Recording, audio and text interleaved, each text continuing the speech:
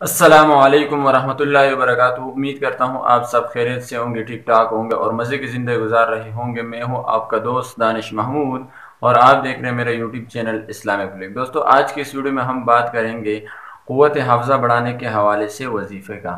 جی ہاں دوستو، بہت سارے دوستوں کو یہ شکایت ہوتی ہے کہ ہمیں چیز یاد نہیں ہوتی یا یہ کہ ہم یاد تو کر لیتے ہیں لیکن ہمیں وہ چیز بہت جلدی بھول جاتی ہے، ہمیں دیر تک یاد نہیں رہتی ہے۔ تو آج کی اس ویڈیو میں ہم بات کریں گے کہ کسی چیز کو یاد کیسے کریں بہت جلدی سے اور یا یہ کہ ہم اس کو دیر تک کیسے محفوظ رکھیں۔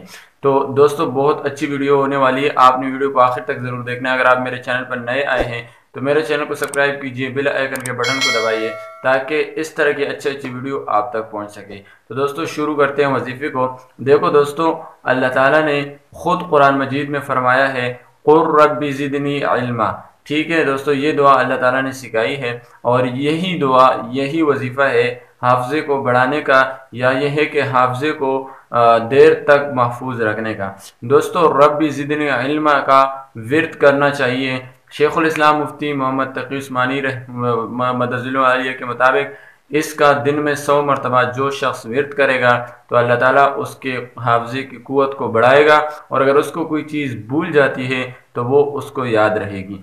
اس لیے دوستو، آپ نے اس وظیفے کا معمول بنانا ہے، رب زدنی علما۔ اس کے اندر یقیناً برکات ہے اور اللہ تعالیٰ خود کہہ رہے کہ آپ کہو، قر، رب زدنی علما۔ کہ میرے علم میں اضافہ فرما، جب اللہ تعالیٰ خود فرما رہے ہیں، تو ایسے وظیفہ میں پھر کوئی شک و شبہ نہیں رہتا۔ دوستو، آپ نے اس وظیفے کو کرنا ہے۔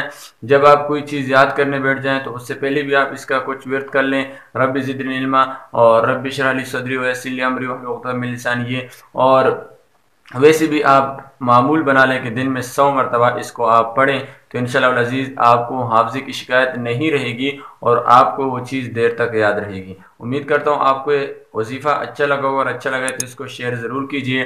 اگر آپ کو کوئی بھی پریشانی ہے تو آپ مجھے کمنٹ کر کے یا واٹس اپ نمبر جو میرے اباؤٹ سیکشن میں جا کر موجود ہے، آپ مجھے واٹس اپ کر سکتے ہیں۔ انشاءاللہ العزیز اگلی ویڈیو آپ کے لیے ہوگی۔ مجھے اگلی ویڈیو تک کے لیے دیجیے